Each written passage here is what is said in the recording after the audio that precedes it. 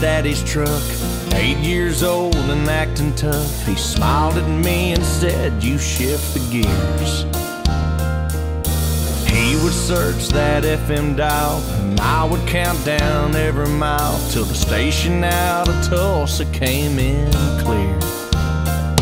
It was Earl Thomas Conley on the radio. It punched me in the gut. It rattled my soul.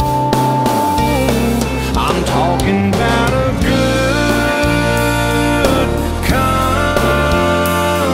song. Makes you smile, makes you hurt, leaves you hanging on every word. A good country song makes you love, makes you lead.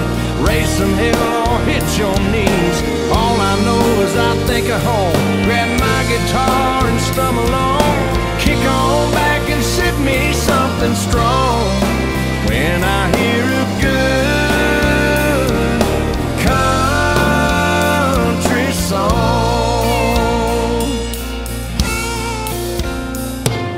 While hip hop, rap, and rock were cool, I was in my basement getting schooled on George and Keith and Vern in Alabama.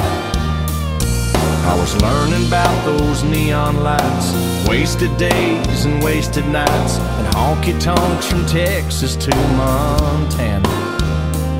And when my fingers found the fretboard, I'd close my eyes and sing.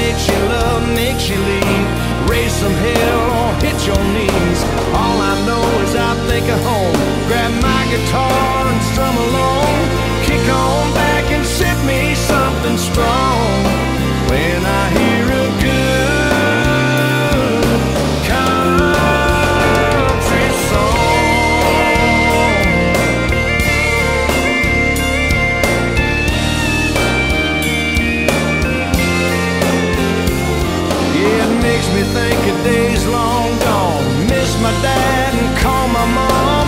Cry and laugh and pray and drink till dawn.